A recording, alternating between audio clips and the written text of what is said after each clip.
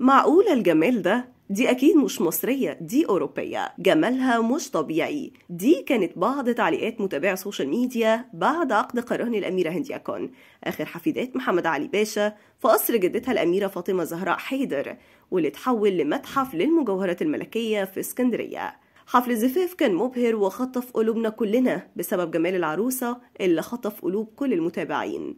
كمان القصر كان تحفة معمارية ومليان مجوهرات وتحف فنية نادرة.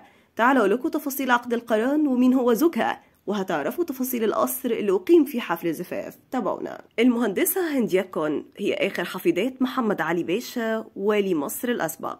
واحتفلت بعد قرنها في قصر جدتها الأميرة فاطمة زهراء حيدر واللي تحول لمتحف للمجوهرات الملكية في اسكندرية. اعتمدت هند في إطلالتها على فستان ناعم من الستان مع أكمام شفافة طويلة وبقماش فتافيت السكر بنفس اللون واختارت تسريحة شعر بسيطة ومموجة وكملت إطلالتها الناعمة بإكسسوارز راقية وأنيقة. وارتدى العريس وهو المهندس مؤمن علي أحمد إبراهيم بدلة من اللونين الأبيض والأسود وببيونة ولحية خفيفة. حضر عقد القران عدد كبير من الشخصيات البارزة سياسيا والقيادات التنفيذية وبعض البرلمانيين والأهل والعائلة والأصدقاء وزينت حديقة القصر لاستقبال حفل الزفاف واختارت العروس ديكورات بيضة وزينت سلم القصر بباقات من الورد وزينت كراسي الحضور بالتل الأبيض. وفي المساء أضيئت مشاعل القصر الداخلية واللي عكست إضاءة صفرة هادية ومريحة على الحديقة.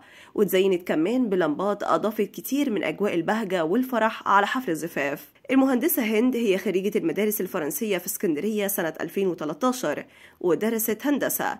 عاشت قصة حب طويلة وارتبطت بزميلها المهندس مؤمن علي أحمد إبراهيم. الأميرة فاطمة زهراء حيدر اتجوزت من محمد فايكون وأنجبوا ثلاث أبناء فاضل وفايز وفايزة. وتمت مصادرة أملاك الأميرة فاطمة بعد ثورة يوليو سنة 52 مع السماح لهم بالإقامة في القصر لحد سنة 63 بعدها تنزلت عن القصر لصالح الحكومة المصرية وعاشت في القاهرة ورحلت سنة 83 قصر المجوهرات الملكية تم بناؤه سنة 1919 في منطقة زيزينيا ومساحته 4185 متر مربع. وتم تصميمه طبقا لطراز المباني الأوروبية في القرن التاسع عشر. كمان تم زخرفة القصر من الداخل بوحدات فنية مميزة وبيضم المتحف حاليا مجموعة كبيرة من المجوهرات والتحف الذهبية المملوكة أصلا للأسرة العلوية المالكة واللي بتعود لسنة 1805 كمان بيتضمن القصر تحف نادرة بداية من اللي امتلكها محمد علي باشا لحد الملك فاروق الأول.